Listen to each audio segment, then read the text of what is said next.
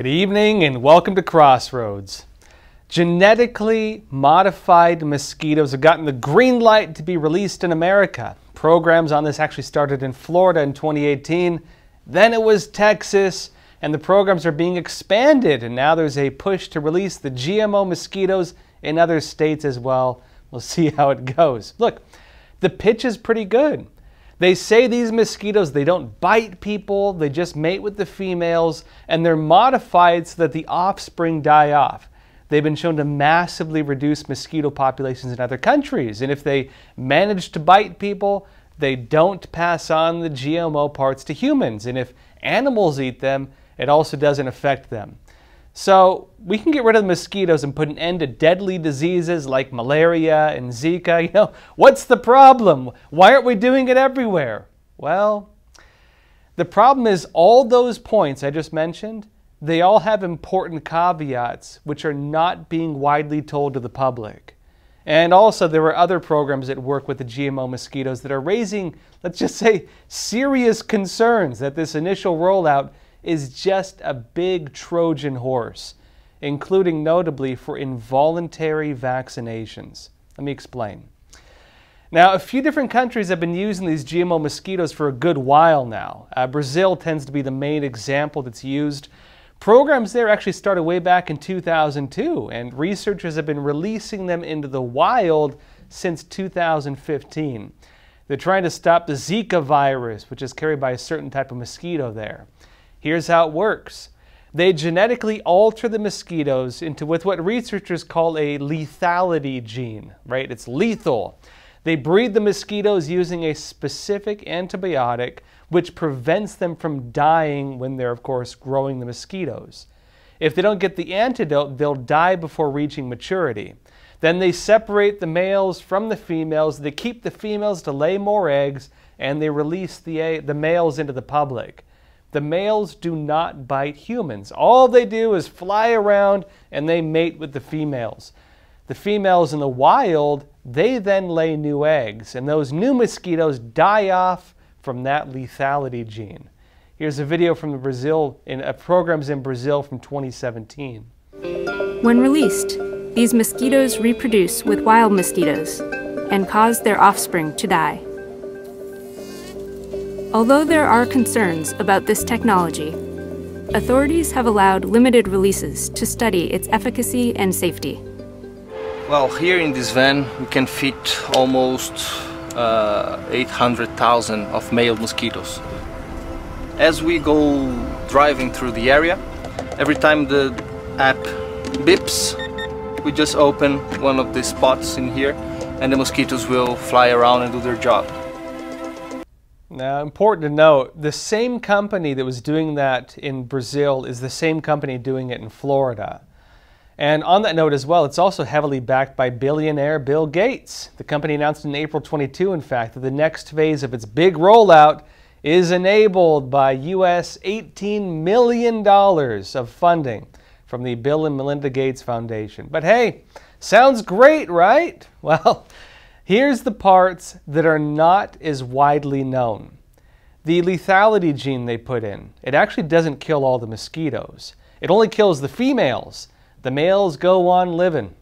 When the first generation comes about, all of the females die. The males then go on to keep breeding. In the second generation, only half of the females die. And this continues for about 20 generations, they say, before the lethality gene allegedly disappears. In other words, the GMO mosquitoes do bite humans, as opposed to what we've been told. It's just not the first generation. That's the technicality. The females that go on living in all those subsequent generations, they can bite humans. So the claim that there is no risk of these GMO mosquitoes drinking people's blood, biting you and I, it is deeply misleading. They're lying to the public about it. Now, of course, researchers are also claiming that there isn't any risk with that. They say there's no evidence of gene transfer when a mosquito bites someone. And, you know, people wonder about, well, what if a bird eats it? They say if an animal eats one of these bugs, they also do not incorporate the DNA into their genome. In other words, they claim the so called lethality gene, the thing that would concern most of us, that it won't affect humans or animals. But there's also a problem with that, and the problem is mutation.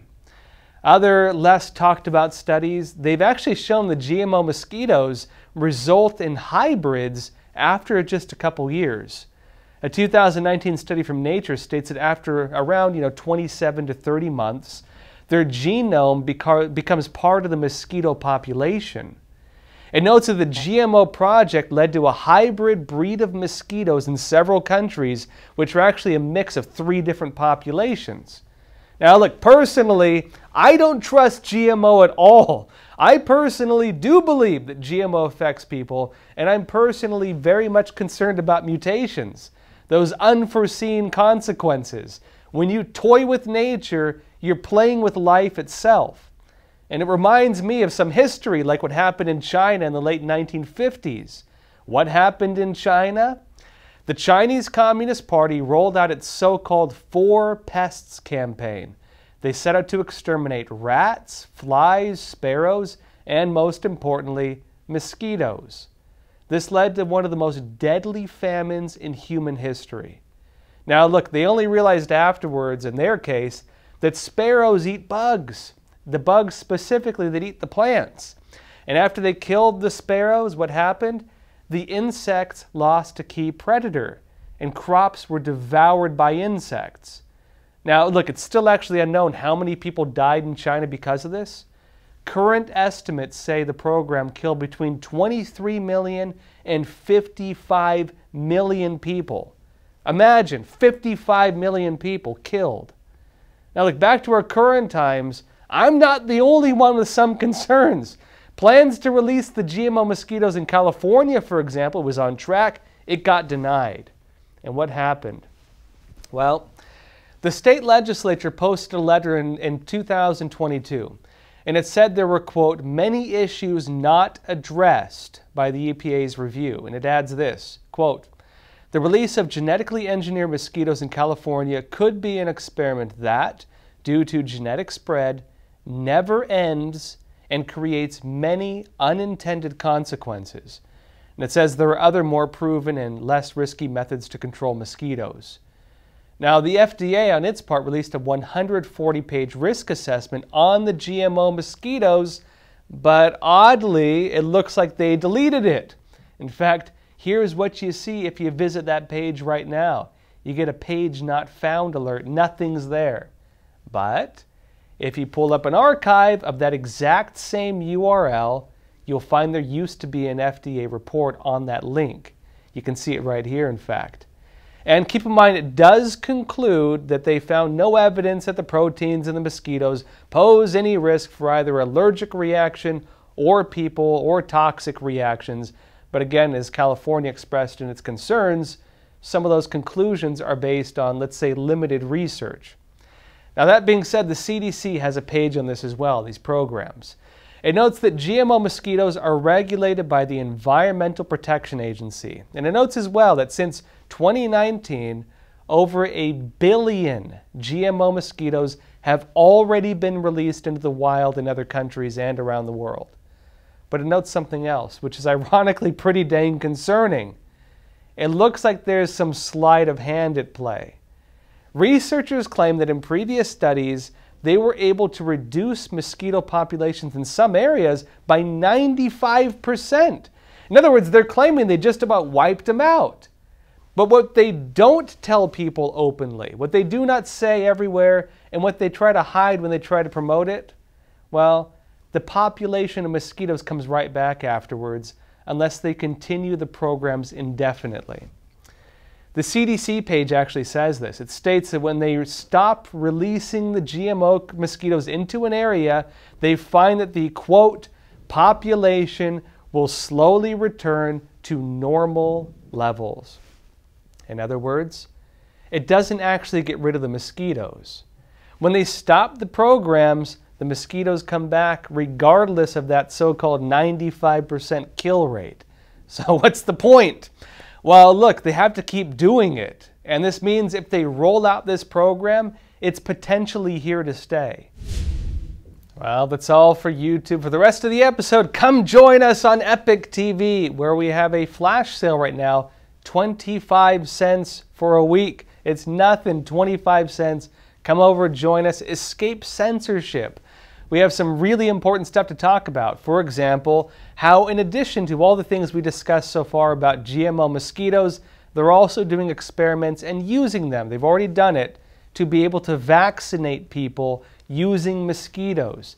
They're referring to them as flying syringes, the way they're actually talking about them. We have a lot, a lot of other important stuff to talk about, including, for example, what the Q and LGBTQ actually stands for, and the agenda, which includes pedophilia behind that. Uh, we'll also go into other things, for example, what the World Economic Forum is working on the idea that you'll own nothing, but you'll be happy. What does it mean to own nothing? How does it fit into stakeholder capitalism?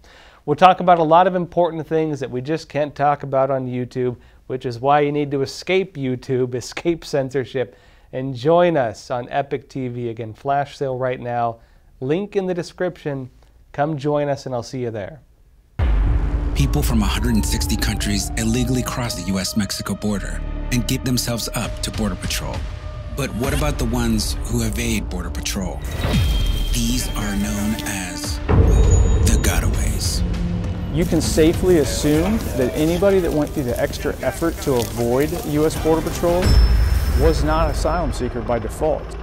It may not be today, it may not be tomorrow, but somewhere down the road, if somebody rapes and kills somebody, and we find out that they came through here on my watch, that's unacceptable. These men had surrounded my house. They were banging on my back door. They were banging on my front door. You can't understand it unless you're out here seeing it every day. 21 dead bodies on the property. Code 3 response. Is it wrong to ask people to come to your front door of your home? Then why would it be wrong to ask people to come to the front door of our nation?